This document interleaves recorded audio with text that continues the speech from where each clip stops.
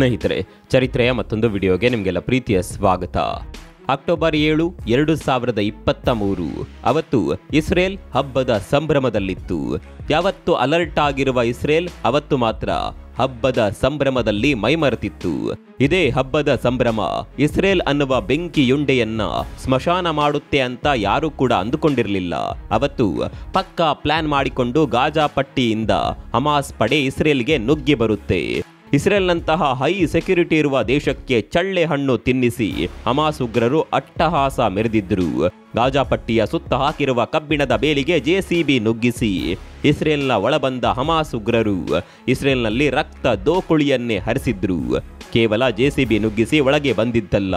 Parachute ಮೂಲಕ ಕೂಡ ಒಳಗೆ ಬಂದಿದ್ರು.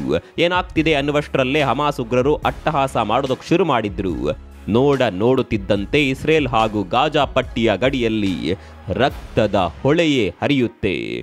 ಇನ್ನೂರ ಐವತ್ತಕ್ಕೂ ಹೆಚ್ಚು ಇಸ್ರೇಲ್ ಪ್ರಜೆಗಳನ್ನು ಹಮಾಸ್ ಪಡೆ ಒತ್ತೆಯಳಾಗಿ ಇಟ್ಟುಕೊಳ್ಳುತ್ತೆ. ಅಷ್ಟೇ ಅಲ್ಲ, ಸಾವಿರದ ಇನ್ನೂರಕ್ಕೂ ಹೆಚ್ಚು ಇಸ್ರೇಲ್ ಪ್ರಜೆಗಳು ಹಮಾಸ್ ಅಟ್ಟಹಾಸಕ್ಕೆ ಬಲಿಯಾಗ್ತಾರೆ. ಇಂಥದ್ದೊಂದು ದಾಳಿಯನ್ನ ಇಸ್ರೇಲ್ ಕನಸಿನಲ್ಲೂ ಊಹೆ ಮಾಡಿರಲಿಲ್ಲ. ಇಸ್ರೇಲ್ ಅವತ್ತೇ ಅದೊಂದು ಪ್ರತಿಜ್ಞೆ ಮಾಡುತ್ತೆ. ನಮ್ಮ ದೇಶಕ್ಕೆ ಈ ಪರಿಸ್ಥಿತಿಯನ್ನ ತಂದ ನಮ್ಮ ದೇಶದ ಪ್ರಜೆಗಳನ್ನ ಕನಿಕರವಿಲ್ಲದೆ ಹತ್ಯೆ ಮಾಡಿದ ಹಮಾಸ್ ಪಡೆಯನ್ನ ಬೇರು ಸಮೇತ ಕಿತ್ತು ಬಿಸಾಕ್ತೇವೆ. ಹಮಾಸ್ ನಾಯಕರ ರುಂಡ ಚೆಂಡಾಡುತ್ತೇವೆ. ಎಲ್ಲಿವರೆಗೆ ಹಮಾಸ್ ನಾಯಕನ ಪ್ರಾಣ ಹೋಗೋದಿಲ್ವೋ, ಅಲ್ಲಿವರೆಗೆ ನಮ್ಮ ಪ್ರತಿ ದಾಳಿ ಮುಂದುವರಿಯುತ್ತೆ ಅಂತ ಅವತ್ತು ಇಸ್ರೇಲ್ ಪ್ರತಿಜ್ಞೆ ಮಾಡಿತ್ತು. ಇದೀಗ ಹಮಾಸ್ ನಾಯಕ ಫಿನಿಶ್ ಆಗಿದ್ದಾನೆ. ಇರಾನ್ನಲ್ಲಿ ಹಮಾಸ್ ನಾಯಕನ ಕತೆ ಮುಗಿಸಲಾಗಿದೆ.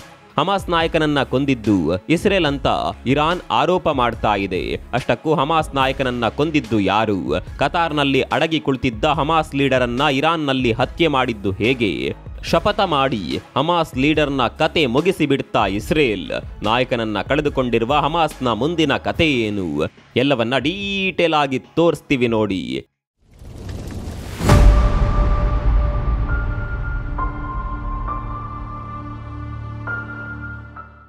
ಸೇಡು. ಅದು ಬರೋಬ್ಬರಿ ಒಂದು ವರ್ಷದ ಸೇಡು. ತನ್ನ ನಾಗರಿಕರನ್ನ ಮನಬಂದಂತೆ ಸಾಯಿಸಿದ ಪಡೆಯನ್ನ ಸರ್ವನಾಶ ಮಾಡ್ತೀವಿ ಅಂತ. ಹತ್ತು ತಿಂಗಳ ಹಿಂದೆ ಇಸ್ರೇಲ್ ಪ್ರತಿಜ್ಞೆ ಮಾಡಿತ್ತು. ಸ್ನೇಹಿತರೆ, ನಿಮಗೆಲ್ಲ ಹಮಾಸ್ ಇಸ್ರೇಲ್ನ ಮೇಲೆ ಯಾವ ರೀತಿ ದಾಳಿ ಮಾಡಿತ್ತು ಅನ್ನುವ ಘಟನೆ ಚೆನ್ನಾಗಿಯೇ ನೆನಪಿರಬಹುದು. ಹಮಾಸ್ ಉಗ್ರರು ನೆಲ, ಜಲ, ವಾಯು ಈ ಮೂರು ಮಾರ್ಗದಲ್ಲಿ ಕೂಡ ಇಸ್ರೇಲ್ನೊಳಗೆ ನುಗ್ಗಿದ್ರು. ಅದು ಕೂಡ ಏಕಕಾಲದಲ್ಲಿ. ಎಲ್ಲವೂ ಪರ್ಫೆಕ್ಟ್ ಪ್ಲಾನ್ ಪ್ರಕಾರವೇ ನಡೆದಿತ್ತು. ಜೆಸಿಬಿಯಲ್ಲಿ ಗಾಜಾ ಪಟ್ಟಿಯ ಬೇಲಿ ಮುರಿದ ಉಗ್ರರು ಬೈಕ್ ಮೂಲಕ ಇಸ್ರೇಲ್ನೊಳಗೆ ಹೋಗ್ತಾರೆ. ಅಷ್ಟರಲ್ಲೇ ಆಕಾಶದಲ್ಲಿ ಮಿಸೈಲ್ಗಳನ್ನು ಸಿಡಿಸೋದಕ್ಕೆ ಶುರು ಮಾಡಿದ್ರು. ಸಮುದ್ರ ಮಾರ್ಗದಲ್ಲಿ ಸ್ಪೀಡ್ ಬೋಟ್ಗಳ ಮೂಲಕ ಅಟ್ಯಾಕ್ ಮಾಡಿದ್ರು. ಇಲ್ಲಿ ಹಮಾಸ್ ಉಗ್ರರು ಎಲ್ಲವನ್ನ ಪಕ್ಕಾ ಪ್ಲಾನ್ ಮಾಡಿಯೇ ಮಾಡಿದ್ರು. ಇಲ್ಲಿ ದಿನವನ್ನ ಕೂಡ ತುಂಬಾನೇ ಪ್ಲಾನ್ ಮಾಡಿ ಚೂಸ್ ಮಾಡಿದ್ರು. ನಾವು ಆರಂಭದಲ್ಲೇ ಹೇಳಿದಂತೆ ಆ ದಿನದಂದು ಇಸ್ರೇಲ್ನಲ್ಲಿ ಹಬ್ಬ ಇತ್ತು. ಅದಕ್ಕಾಗಿ ಇಸ್ರೇಲಿಗರು ಪ್ರಿಪೇರ್ ಆಗ್ತಾ ಇದ್ರು. ಈ ಹಬ್ಬದಲ್ಲಿ ಯಹೂದಿಗಳು ಪೂರ್ತಿ ದಿನ ತಮ್ಮ ಧರ್ಮ ಗ್ರಂಥವನ್ನ ಓದೋದಕ್ಕೆ ವಿನಿಯೋಗ ಮಾಡ್ತಾರೆ. ಇದನ್ನು ಅಡ್ವಾಂಟೇಜ್ ಆಗಿ ತೆಗೆದುಕೊಂಡ ಹಮಾಸ್ ಉಗ್ರರು ದಾಳಿಗೆ ಮುಹೂರ್ತ ಫಿಕ್ಸ್ ಮಾಡ್ತಾರೆ. ಸಾವಿರಕ್ಕೂ ಹೆಚ್ಚು ರಾಕೆಟ್ಗಳನ್ನು ಇಸ್ರೇಲ್ ನಗರದ ಮೇಲೆ ಸಿಡಿಸಿದ್ರು. ಈ ರಾಕೆಟ್ಗಳನ್ನು ಇಸ್ರೇಲ್ನ ಐರನ್ ಡೋಮ್ ಸಿಸ್ಟಮ್ ನಾಶ ಮಾಡಿದ್ರು. ಅಷ್ಟರಲ್ಲೇ ಇಸ್ರೇಲ್ನಲ್ಲಿ ಹಮಾಸ್ ಉಗ್ರರು ರಕ್ತ ದೋಕುಳಿಯನ್ನು ಹರಿಸಿಬಿಟ್ಟಿದ್ರು. ಇಸ್ರೇಲ್ನ ಮಹಿಳೆಯರ ಮೇಲೆ ಅತ್ಯಾಚಾರ ಮಾಡಿ ಕೈ ಕಾಲು ಮುರಿದು ಮೆರವಣಿಗೆ ಮಾಡಿದ್ರು. ಅದೆಷ್ಟೋ ಜನರನ್ನ ಗುಂಡಿಟ್ಟು ಕೊಂದರು. ಇಲ್ಲಿವರೆಗೆ ನಡೆದಿದ್ದು ಹಮಾಸ್ನ ಹೋಂಕಾರ. ಮುಂದೆ ಇದಕ್ಕೆ ಇಸ್ರೇಲ್ ಕೊಟ್ಟ ಉತ್ತರ ಇದೆಯಲ್ಲ. ಅದು ಇಡೀ ಜಗತ್ತನ್ನೇ ಬೆಚ್ಚಿ ಬೀಳಿಸಿತ್ತು. ಇಸ್ರೇಲ್ ಕೊಟ್ಟ ಪ್ರತಿಕ್ರಿಯೆ ಯಾವ ರೀತಿ ಇತ್ತು ಅನ್ನೋದನ್ನ ಜಗತ್ತು ನೋಡಿದೆ. ಆದರೂ ಇಸ್ರೇಲ್ನ ಕೋಪ ತಣ್ಣಗಾಗಿರಲಿಲ್ಲ. ಇಸ್ರೇಲ್ಗೆ ಹಮಾಸ್ ನಾಯಕನ ತಲೆ ಬೇಕಿತ್ತು. ಆ ತಲೆ ಈಗ ಉರುಳಿ ಹೋಗಿದೆ. ಹಮಾಸ್ ನಾಯಕ ಇಸ್ಮಾಯಿಲ್ ಹನಿಯಾನನ್ನ ಇರಾನ್ ದೇಶದ ಟೆಹರನ್ನಲ್ಲಿ ಅಪರಿಚಿತರು ಹತ್ಯೆ ಮಾಡಿದ್ದಾರೆ. ಹತ್ಯೆಯನ್ನ ಇಸ್ರೇಲೇ ಮಾಡಿರುತ್ತೆ ಅನ್ನೋದು ಎಲ್ರಿಗೂ ಗೊತ್ತಿರುವ ಸತ್ಯ. ಸ್ನೇಹಿತರೆ, ನಿಮಗೆಲ್ಲ ನೆನಪಿರಬಹುದು ಕೆಲವು ತಿಂಗಳ ಹಿಂದೆ ಇರಾನ್ನ ಪ್ರಧಾನಿ ರೈಸಿ ಹೆಲಿಕಾಪ್ಟರ್ ದುರಂತದಲ್ಲಿ ಸಾವನ್ನಪ್ಪಿದ್ರು. ಇದರ ಹಿಂದೆ ಕೂಡ ಇಸ್ರೇಲ್ನ ಕೈವಾಡ ಇದೆ ಅನ್ನುವ ಮಾತುಗಳು ಕೇಳಿಬಂದಿದ್ವು ಹೀಗೆ ಇರಾನ್ ಪ್ರಧಾನಿಯ ಹೆಲಿಕಾಪ್ಟರ್ ದುರಂತ ಸಂಭವಿಸಿ ಹೆಚ್ಚು ದಿನಗಳೇನು ಕಳೆದಿಲ್ಲ. ಅಷ್ಟರಲ್ಲೇ ಇರಾನ್ನಲ್ಲಿ ಮತ್ತೊಬ್ಬ ದೊಡ್ಡ ನಾಯಕನನ್ನ ಹತ್ಯೆ ಮಾಡಲಾಗಿದೆ. ಅಂದಹಾಗೆ ಮಂಗಳವಾರ ಇರಾನ್ನ ಅಧ್ಯಕ್ಷ ಮಸೂದ್ ಪೆಜೆಕ್ಷಿಯಾನ್ ಅವರ ಪ್ರಮಾಣ ವಚನ ಸಮಾರಂಭದಲ್ಲಿ ಪಾಲ್ಗೊಳ್ಳಲು ಹಮಾಸ್ ನಾಯಕ ಹನಿಯಾನ್ ಇರಾನ್ನ ರಾಜಧಾನಿಗೆ ಬಂದಿದ್ರು. ಇದೇ ಸಂದರ್ಭವನ್ನ ಬಳಸಿಕೊಂಡು ಹಮಾಸ್ ನಾಯಕನ ಕತೆ ಮುಗಿಸಲಾಗಿದೆ. ಹಮಾಸ್ ನಾಯಕ ಟೆಹರಾನ್ನ ಮನೆಯಲ್ಲಿದ್ದ ಸಂದರ್ಭದಲ್ಲಿ ಹತ್ಯೆ ನಡೆದಿದೆ. ಆತನೊಂದಿಗೆ ಆತನ ಬಾಡಿಗಾರ್ಡ್ ಕೂಡ ಕೊಲೆಯಾಗಿದ್ದಾನೆ. ಆದರೆ ಈ ಹತ್ಯೆ ಮಾಡಿದ್ದು ನಾವೇ ಅಂತ ಇಸ್ರೇಲ್ ಇಲ್ಲಿವರೆಗೆ ಒಪ್ಪಿಕೊಂಡಿಲ್ಲ. ಹಾಗಂತ ಈ ಹತ್ಯೆಯನ್ನ ನಾವು ಮಾಡಿಲ್ಲ ಅನ್ನೋದನ್ನ ಕೂಡ ಇಸ್ರೇಲ್ ಹೇಳಿಲ್ಲ. ಇಸ್ರೇಲ್ ಯಾವ ಹೇಳಿಕೆಯನ್ನ ಕೊಡದೇ ಇದ್ರು ಇದರ ಹಿಂದೆ ಇಸ್ರೇಲೇ ಇರೋದು ಅನ್ನೋದು ಜಗತ್ತಿಗೆ ಗೊತ್ತಿರುವ ಕಟು ಸತ್ಯ. ಇಸ್ರೇಲ್ ಪ್ರತೀಕಾರ ತೀರಿಸಿಕೊಳ್ಳುತ್ತೆ ಅನ್ನೋದು ಹಮಾಸ್ ನಾಯಕರಿಗೆ ಚೆನ್ನಾಗಿಯೇ ಗೊತ್ತಿತ್ತು. ಹೀಗಾಗಿ ಗಾಜಾ ಪಟ್ಟಿಯಲ್ಲಿ ತಾನು ಬೆಳೆಸಿದ ಹುಡುಗರನ್ನ ಬಿಟ್ಟು ನಾಯಕರೆಲ್ಲ ಬೇರೆ ಬೇರೆ ದೇಶಗಳಿಗೆ ಪರಾರಿಯಾಗಿದ್ರು. ಅದರಲ್ಲೂ ಹಮಾಸ್ನ ಲೀಡರ್ ಕತಾರ್ನಲ್ಲಿ ಅಡಗಿಕೊಳ್ತಿದ್ದ ಅನ್ನುವ ಮಾಹಿತಿ ಇದೆ. ಹೀಗೆ ಒಂದು ಹತ್ತು ತಿಂಗಳ ಕಾಲ ತಲೆಮರೆಸಿಕೊಂಡಿದ್ದ ಹಮಾಸ್ ನಾಯಕ, ಇಸ್ರೇಲ್, ಇನ್ನು ನನ್ನ ಮೇಲೆ ಕಣ್ಣಿಡೋದಿಲ್ಲ ಅಂತ ಇರಾನ್ನಲ್ಲಿ ನಡೆಯುವ ಪ್ರಮಾಣ ವಚನ ಕಾರ್ಯಕ್ರಮಕ್ಕೆ ಬಂದಿದ್ದ. ಅದು ಕೂಡ ಕದ್ದು ಮುಚ್ಚಿ ಬಂದಿದ್ರು. ಆದರೆ ಅದೊಂದು ವಿಡಿಯೋ. ಹಮಾಸ್ ನಾಯಕನಿಗೆ ಮುಳುವಾಗುತ್ತೆ. ಹೌದು ಪ್ರಮಾಣ ವಚನ ಸಮಾರಂಭಕ್ಕೂ ಮುನ್ನ ಇರಾನ್ನ ಸುಪ್ರೀಂ ನಾಯಕ ಅಯತ್ತೊಲ್ಲಾ ಕುಮೇನಿ ಅವರನ್ನ ಹಮಾಸ್ ನಾಯಕ ಭೇಟಿಯಾಗ್ತಾನೆ. ಈ ಭೇಟಿಯನ್ನ ಯಾರೋ ವಿಡಿಯೋ ಮಾಡಿದ್ದಾರೆ. ಈ ವಿಡಿಯೋ ಇಸ್ರೇಲ್ನ ಗುಪ್ತಚರ ಇಲಾಖೆಯ ಕಣ್ಣಿಗೆ ಬಿದ್ದಿದೆ ಎನ್ನಲಾಗುತ್ತಿದೆ.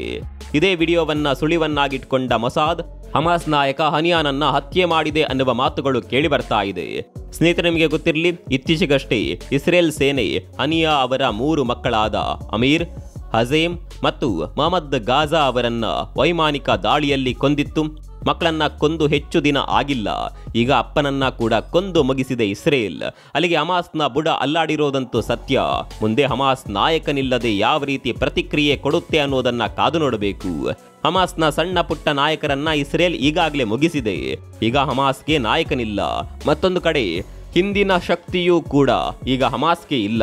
ಈಗ ಏನಿದ್ರು ಇರಾನ್ನ ಸಹಾಯ ಪಡೆದುಕೊಂಡು ಅಥವಾ ಹಿಜ್ಬುಲ್ಲಾ ಉಗ್ರರ ನೆರವು ಪಡೆದುಕೊಂಡು ಹಮಾಸ್ ಪ್ರತಿದಾಳಿ ಮಾಡಬೇಕು ಅಷ್ಟೇ. ಇಸ್ರೇಲ್ ಹಿಜ್ಬುಲ್ಲಾ ಸಂಘಟನೆಯ ಮೇಲೆ ಕೂಡ ಹದ್ದಿನ ಕಣ್ಣಿಟ್ಟಿದೆ. ಹಿಜ್ಬುಲ್ಲಾ ಕಮಾಂಡರ್ನನ್ನ ಕೂಡ ಇಸ್ರೇಲ್ ಹತ್ಯೆ ಮಾಡಿದೆ ಎನ್ನಲಾಗುತ್ತಿದೆ. ಈಗ ಇಸ್ರೇಲ್ ಹತ್ಯೆ ಮಾಡಿರುವ ಹಿಜ್ಬುಲ್ಲಾದ ಕಮಾಂಡರ್ ಹಲವು ದಾಳಿಗಳನ್ನ ಮಾಡಿದ್ದ.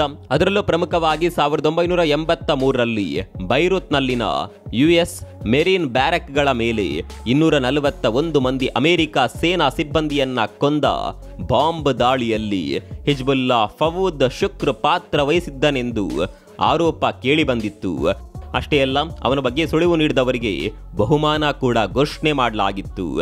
ಇದೀಗ ಇದೇ ಕಮಾಂಡರ್ನ ಕಥೆಯನ್ನ ಇಸ್ರೇಲ್ ಮುಗಿಸಿಬಿಟ್ಟಿದೆ. ಹೀಗೆ ಶತ್ರುಗಳ ಒಂದೊಂದೇ ತಲೆಯನ್ನ ಇಸ್ರೇಲ್ ಉರುಳಿಸುತ್ತಿದೆ. ಇಸ್ರೇಲ್ ಅಗ್ರೆಸಿವ್ ಆಗಿ ಶತ್ರು ಸಂಹಾರ ಮಾಡ್ತಾ ಇದೆ. ಮತ್ತೊಂದು ಕಡೆ ಇರಾನ್, ಇಸ್ರೇಲ್ನ ವಿರುದ್ಧ ತಿರುಗಿ ಬೀಳುವ ಸಾಧ್ಯತೆ ಇದೆ. ಈಗಾಗಲೇ ಇಸ್ರೇಲ್ನ ಮೇಲೆ ಪ್ರತಿದಾಳಿ ಮಾಡುವಂತೆ ಇರಾನ್ ಸೇನೆಗೆ ಅಲ್ಲಿನ ಸರ್ವೋಚ್ಚ ನಾಯಕ ಆದೇಶ ನೀಡಿದ್ದಾರೆ ಅನ್ನುವ ಮಾತುಗಳು ಕೇಳಿ ಬರ್ತಾ ಇದೆ. ಒಂದು ವೇಳೆ ಇರಾನ್ ಕೂಡ ಇಸ್ರೇಲ್ನ ಮೇಲೆ ದಾಳಿ ಮಾಡೋದಕ್ಕೆ ಶುರು ಮಾಡಿಬಿಟ್ರೆ ಅಲ್ಲಿಗೆ ಜಗತ್ನಲ್ಲಿ ಮತ್ತೊಂದು ಯುದ್ಧ ಆರಂಭವಾಗುವುದರಲ್ಲಿ ಅನುಮಾನ ಬೇಡ. ಅತ್ತ ಇಸ್ರೇಲ್ ಕೂಡ ಈ ದಾಳಿಗೆ ಸಜ್ಜಾಗಿದೆ. ಒಂದು ವೇಳೆ ಇರಾನ್ ದಾಳಿ ಮಾಡಿದರೆ ಯಾವ ರೀತಿ ಉತ್ತರ ಕೊಡಬೇಕು ಅನ್ನೋದಕ್ಕೆ ಈಗಾಗಲೇ ಇಸ್ರೇಲ್ ಪ್ಲಾನ್ ಮಾಡಿಕೊಂಡಿದೆ. ಅದರಲ್ಲೂ ಇಸ್ರೇಲ್ ಇರಾನ್ನ ಪರಮಾಣು ಸ್ಥಾವರಗಳನ್ನು ಟಾರ್ಗೆಟ್ ಮಾಡಿ ಇಟ್ಟಿದೆ ಅನ್ನುವ ಮಾತುಗಳು ಕೇಳಿ ಬರ್ತಾ ಇದೆ. ಇದೇ ಕಾರಣಕ್ಕೆ ಇಲ್ಲಿವರೆಗೆ ಇರಾನ್ ಯಾವುದೇ ರೀತಿಯ ದಾಳಿಯನ್ನ ಆರಂಭ ಮಾಡಿಲ್ಲ. ಮಾಡಿದ್ರೆ ಮತ್ತೊಂದು ಯುದ್ಧ ಶುರುವಾಗುವುದರಲ್ಲಿ ಯಾವುದೇ ಅನುಮಾನ ಬೇಡ.